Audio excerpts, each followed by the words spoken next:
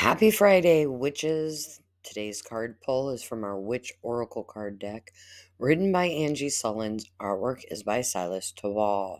Today's note from our Witch's Almanac is that the moon is in Aquarius. The Hive Queen. Bees are the perfect example of alchemy. They transform pollen not only into the cells that they use in their beehive, but they also transform it into honey.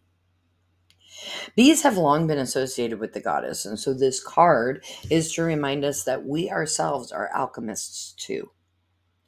Instead of thinking about your mistakes as a negative thing, ask yourself, what can I transform this into?